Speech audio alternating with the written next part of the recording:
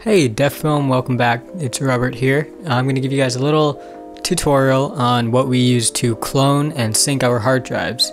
So um, basically what we do when we have work is we have two hard drives um, for each, each uh, set of projects we have. Um, in our case, we have two hard drives that are four terabytes each. And the reason we have two is that obviously there's two people, me and Xander, who work and edit on things. We're never editing the same project at the same time, but if someone is if someone's holding one of the hard drives and something was to happen to it, then we would always have a backup of it. So we use this program here called Free File Sync, which is um, free. You can donate. It's pretty useful. This is the website here, freefilesync.org. I'll link it in the description. And if we go over to the actual application, we have it right here. I use this on my personal stuff as well, but I'm going to show you the configuration we have for cloning the entire hard drive. So, basically, the left and the right side are the two hard drive slots that you're going to use. It doesn't really matter which side you pick first.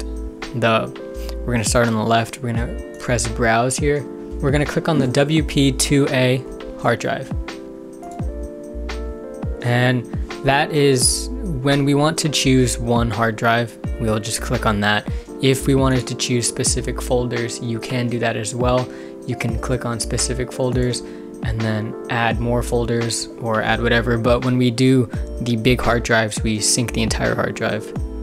So we'll go on the right and we'll find the corresponding drive, which is WP2B Usually, um, we'll just press synchronize, but for demonstration purposes, I'm going to show you compare. So this is going to scan both drives to see what is inconsistent with the two. Maybe if something was updated on one side and something wasn't on the other side.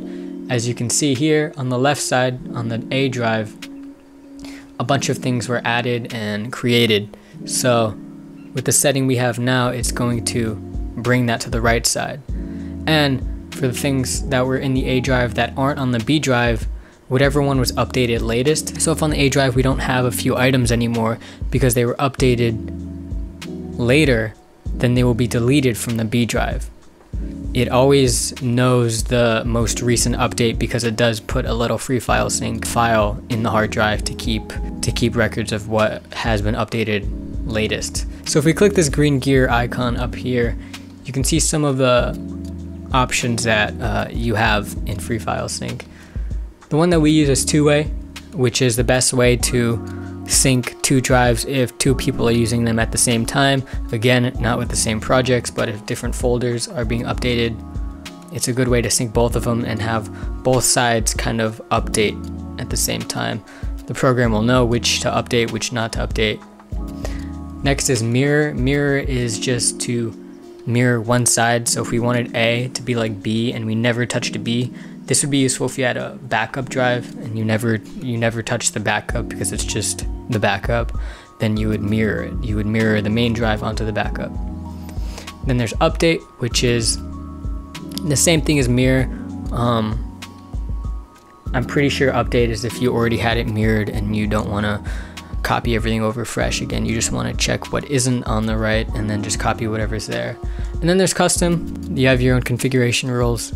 We won't get into that, but we will select two-way and synchronize. I hope you guys enjoy this one. I'll see you guys around.